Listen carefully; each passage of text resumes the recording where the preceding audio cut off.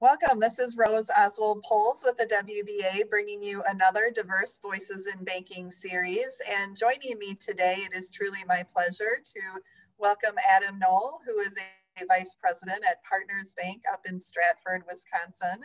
Thank you very much for joining me today, Adam. Hi, Rose. Hi, great to see you. Um, so Adam, you've been with the bank now eight years. So as a successful banker so far, what do you really consider consider your greatest accomplishment in the industry to be? Well, successful banking. That's uh, that's funny because uh, I consider a success once the uh, loan is paid in full and and everything's good. But uh, textbook answer would be adding value and relationship lending, and I I hope I do that. Um, but at the end of the day, it's all about just helping in general. So mm-hmm. um, all the small loans I make, all the large loans, you add them up, and I think that's that's the definition of being a successful banker is is just helping people in general. Um, yep. And as far as um, you know, being in a small town, I, I, live there, I work there, everyone knows who I am. Uh, it really, I, you can almost see the payoff of of the work you do and the and your community involvement. So I think uh, just just being part of the bank and, and being what the bank stands for and helping the community is is a success in and of itself. No, that's very true. And really that is the epitome of community banks across our, our great state. You're right, that it is a really rewarding career that you're in and you're able to see the fruit of, of all your hard work and really help people realize their dreams. So it's great to hear. And, and I know you're going to have many, many more years of success uh, in that regard. Um, as you look at yourself so far, you know, who have your role models really been? Who've been really inspiring you, uh, whether it's inside the banking industry or outside of the industry?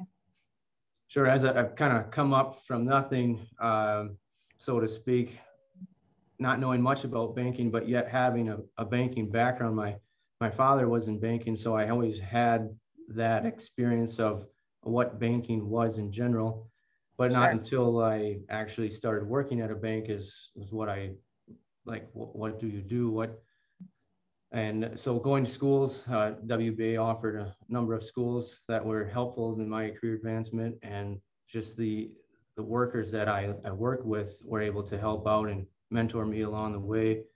Um, but in this day and age, you have a platform across the, the internet, have access to any any mentor you'd want to learn from. And, and there's a couple bankers. I know there's a bank president in Oklahoma and a bank, bank president in Minnesota, uh, Alicia Webb and Jill Castilla.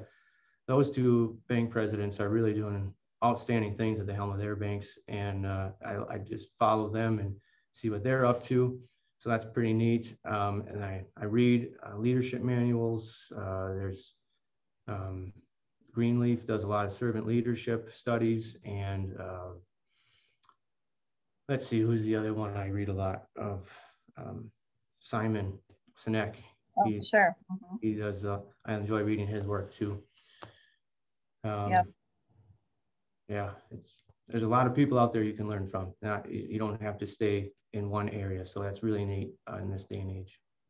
Well, that's very true. And, and honestly, a great point about how digital we've all become anyway. In the last year, because of the pandemic, you really can find role models all over the country. And I don't know Alicia very well, but I do know Jill, and she is a great role model and certainly someone who's always willing to help others as well. And you can learn a lot just frankly from following her on social media too. Right. So, yeah. uh, and interesting that you mentioned Jill. She's also a military veteran, which you are as well.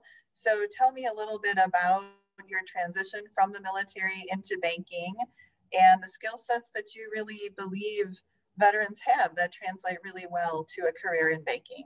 Oh, sure, sure. Well, in the military, you have this camaraderie that you're all together as a unit. You, live together, you sleep together, you eat together, and and in any not just in banking, but when you leave the military, you lose that that piece, that element of of your bond and so I, perhaps that's what I miss most with the transition.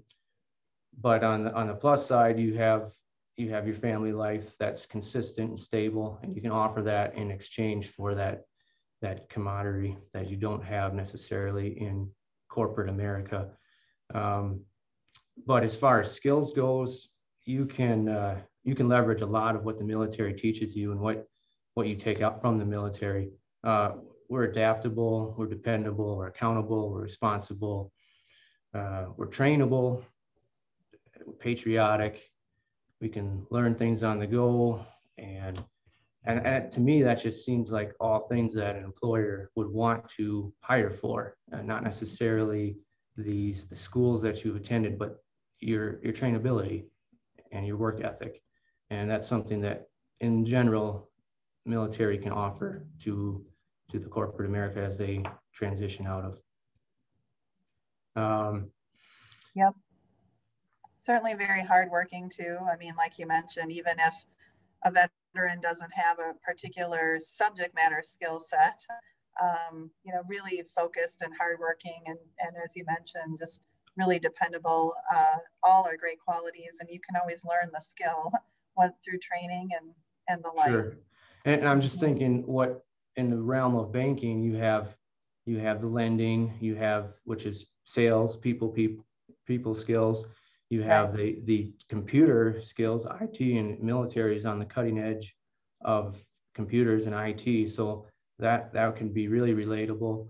And Great you point. have you have um, all the numbers behind. I mean that, that in the finance and the, the credit analysts that can easily. There's departments in the military that can relate to that. So depending on what part in the military you are, you can plug yourself in and find yourself suitable in the banking realm very easily, I would think.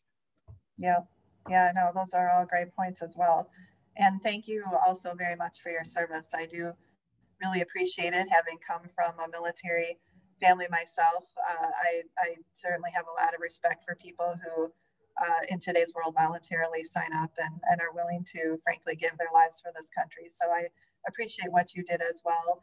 But we're certainly happy to have you over in the private sector side of life and in banking in particular. And I know you're doing great things for Partners Bank up in the Stratford area and all of the markets you serve. And I wish you continued success in that regard. And again, thank you so much for your time today, Adam. I think your insight is really great uh, for people to hear and, and hopefully we can keep encouraging more veterans to come into the banking sector as well. Sure. And, and in parting then I would just add that, you know, in, in the past we were helping people in another country being liberated from, from bullies in theory. And now we're still helping people, just helping people in our own country with their finances. So we're always helping people and, and that's very noble in, in and of itself. It, very true. Yeah, I, I couldn't agree more. Banking is also a very noble career too. So, well, again, thank you, Adam, so much for your time, and I appreciate your voice here today, and and uh, happy to look forward to working with you well into the future. Thank you, Rose. Have a good day. You too.